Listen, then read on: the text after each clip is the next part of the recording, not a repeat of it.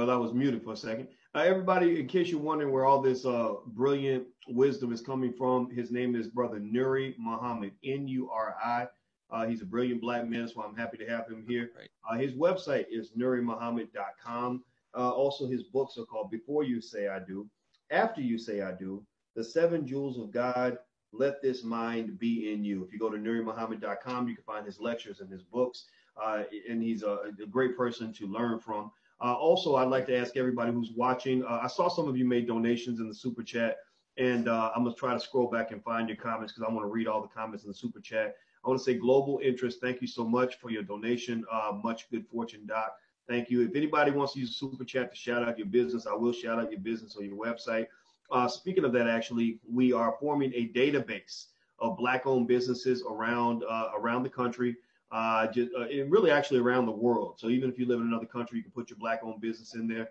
Uh, if you go to theblackbusinesslist.com, that's theblackbusinesslist.com. You guys know about the Black Business School. Well, now we've got theblackbusinesslist.com, and we want to list every single black owned business we can find in this database so that we will turn it into a searchable database so that people in the community can search the database and find black owned businesses in their city, uh, whether they want to find a mechanic or that's right. restaurant or whatever the case may be. So we want to contribute to that uh, that whole movement as well. So theblackbusinesslist.com. Uh, there, there, later on, there might be a fee for listing, but if you list now, you can list for free, and we'll just leave you in the list in the database for good. So theblackbusinesslist.com. Uh, one more thing uh, before before we move forward, uh, if you could hit the thumbs up button and hit that notification bell right now. Uh, it's very important that you hit the notification bell because that is how you get notified if we go live on, on this platform.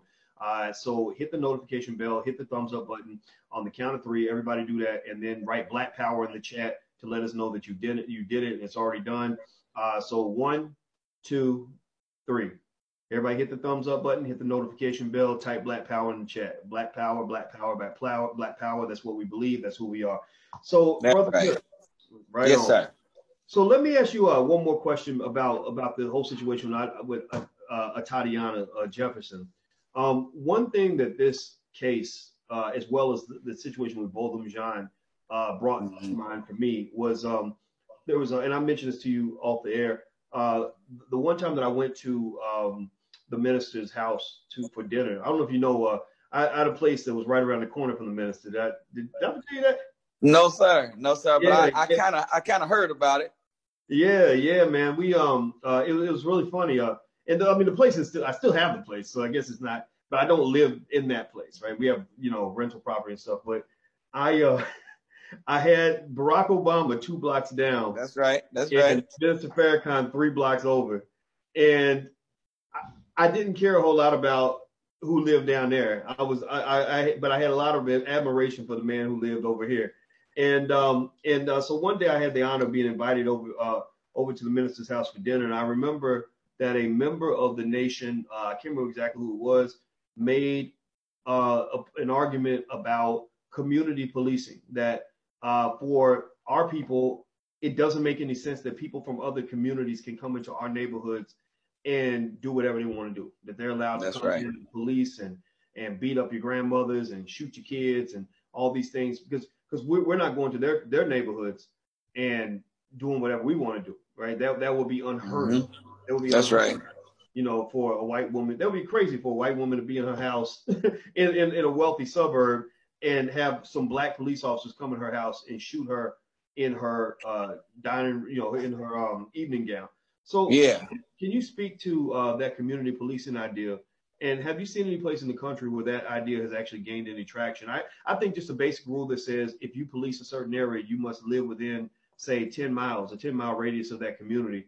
Uh, what do you think about that? And have you seen anybody really push for this? There are several cities that use that title, community policing. And what that generally means is that they use the same white supremacist Klan minded officers to walk down the street in the hood. But the definition of community policing uh, in its highest expression that we present is the men of the community that would be willing to do police work for a living should be hired and the tax dollars that are generated from the environment that they are to police should be directed to pay them the same wages that you pay uh, the police officers that are killing us. Mm. There, there's a lot of brothers that claim GD, they claim Vice Lord, they claim Crip and Blood, they, cl- they claim Four Corner Hustler, they claim BD. G- there's a lot of there's a lot of the soldiers out in the field that if you came in and said, brothers, would you be willing to submit to a training in a boot camp run by retired black police chiefs and retired black police sergeants and retired black men from the military to teach you how to police your own neighborhood, where instead of you having to be out here hustling and gang banging, we'll give you the same $33 an hour that we give the little white dude around the corner that's been killing your aunties and grandmothers and your cousins all this time? What you think? So community policing would be we have tax dollars that we generate that hires our own training and brings these retired black chiefs and retired black sergeants of the military and put them into a setup where they train the brothers from the neighborhood that they grew up in to become the police of that neighborhood. So, with the truest expression of community policing, there's none that have been willing to step there with this artificial, with the same white boys on a horse coming through the ghetto, calling the community policing. It's happening in many major uh, cities, including the one that I live in. But it hasn't stopped the racial profiling. It hasn't stopped the unjust arrest. It hasn't stopped the uh, killing of black men, women, and children by police officers under some some assumed threat that we offer. We we we know how to defuse a situation when you come from the culture and the environment that's the same as the brother that looks like he's out of pocket. We know how to, to make that happen without an incident. So that's the highest level of community policing that was presented. And uh, God willing, we're going to make that happen in a very, very near future. That's the safest and the best remedy uh, mm-hmm. Number one, it takes the brother that's out robbing and hustling and makes him the steward of his own community. And he makes money doing it. And he knows everybody and knows the people in the environment because he came from the environment. And we'll see a whole lot of uh, death stop in our community when we can do it in the highest form of community policing. All right. So everybody who's listening to this, um, and uh, let me let me first of all acknowledge. Uh, thank you, Karen, for your donation. She says, "Love you, Dr. Boyce. Keep doing do keep doing you." Yes, ma'am. That's all I know how to do. But so thank you for your support. Um, I want to uh, ask you all this question. Uh, give me a yes or no in the chat. Uh, do you agree with what Brother Muhammad just said? do you agree that the police in a community should come from that community? Yes or no? Give me a yes or no in the chat um, I want you to be intentional about uh, what you walk away with from these conversations.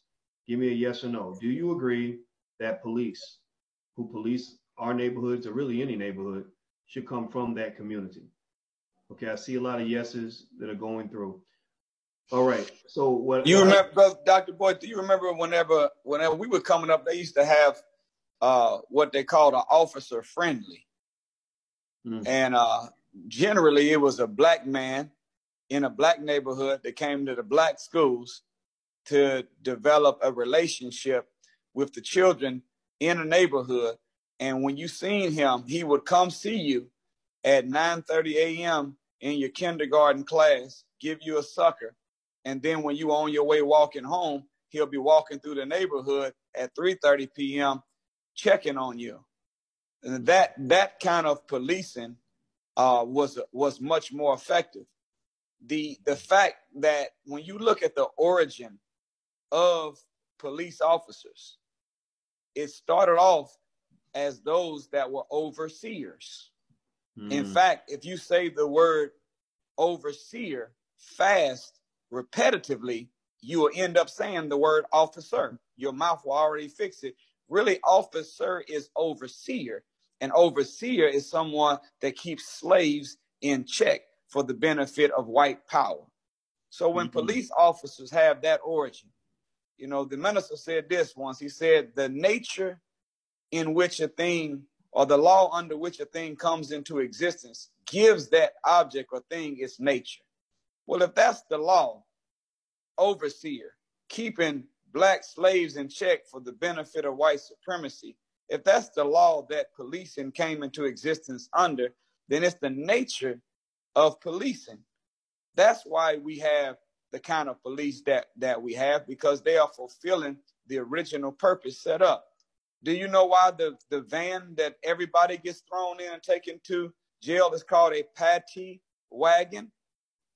Mm. It's because the Irish were the number one slave hunters. They hunted down runaway slaves for a living.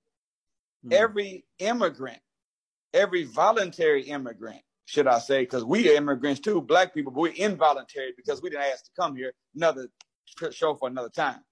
But all the voluntary immigrants came in and had a hustle. The Irish hustle was capturing runaway slaves and returning them back to the plantation to get funds to stay alive in America as new immigrants. Mm. So Patty Hearst, Paddy Wagon coming from the Irish. So the Paddy, this is what policing is from. The origin of policing is to keep slaves in check for the benefit of white supremacy. So the whole paradigm has to shift.